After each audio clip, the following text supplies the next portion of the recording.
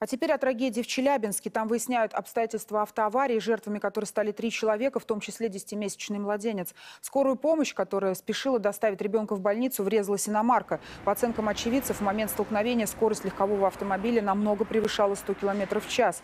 Удар был такой силы, что скорую отбросило на обочину и буквально разорвало на части. Фельдшер и водитель погибли на месте. Ребенок получил тяжелейшие травмы, его довезли до реанимации, но спасти не смогли. Серьезно пострадали мать мальчика и врач. По предварительным данным, виновник ДТП, водитель иномарки, был пьян.